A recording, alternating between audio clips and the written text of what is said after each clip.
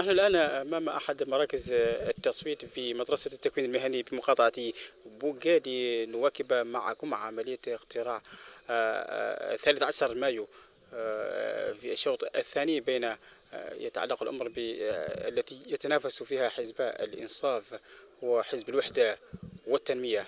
سنرصد معكم العملية من خلال آراء هؤلاء إذا كما تشاهدون نحن الآن داخل أحد مراكز التصويت اللي أخذ تصريح من رئيس المركز حيث سيحدثنا عن سير العملية إلى حد الساعة.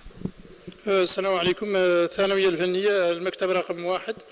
حتى الآن العملية تسير بسلاسة وهنالك إقبال متوسط حتى الآن على المكاتب مقارنة مع الشوط الأول وكل المستلزمات الضرورية تم توفيرها قبل ساعات الاقتراع وتم افتتاح المكتب عند الساعة السابعة صباحا. إذا وفق ما قال رئيس المكتب كما تشاهدون أيضا هناك ممثلي المكاتب مكاتب ممثلي عفوا ممثلي الأحزاب الحزبان المتنافسان في هذا الشوط. إذا الآن سنأخذ تصريح من ممثل أحد ممثل الأحزاب السياسية.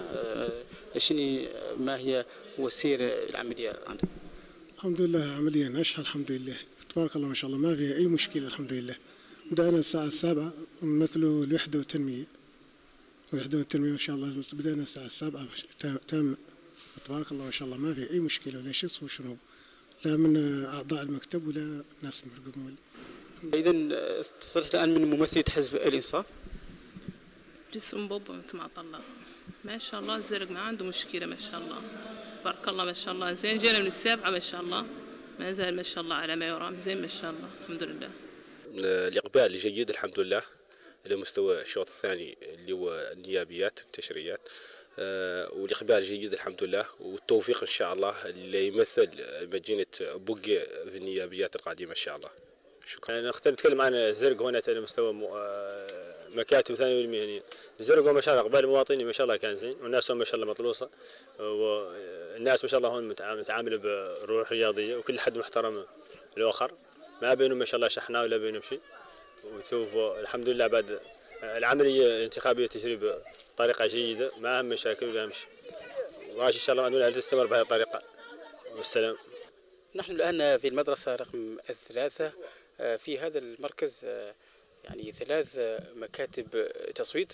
نريد الآن أن نستطلع رأي أحد رؤساء مكاتب التصويت في هذه المدرسة لنجري معه مقابلة حول مجريات عملية التصويت في هذا المركز. نحن اليوم في الشوط الثاني من الانتخابات النيابية والتشريعية وعلى حال نسبة الإقبال مقارنة مع نسبة الإقبال في الشوط الأول كانت ضعيفة.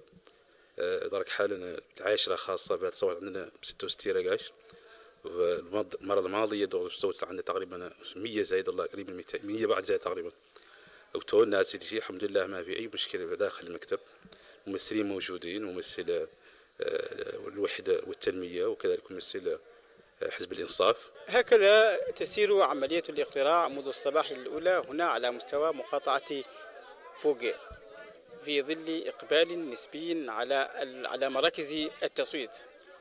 إقبال يعزوه البعض إلى أن نسبة المشاركة حتى الآن في الشوط الثاني من هذه الانتخابات قليلة بالنظر إلى الشوط الأول مقارنة بالشوط الأول من هذه الاستحقاقات.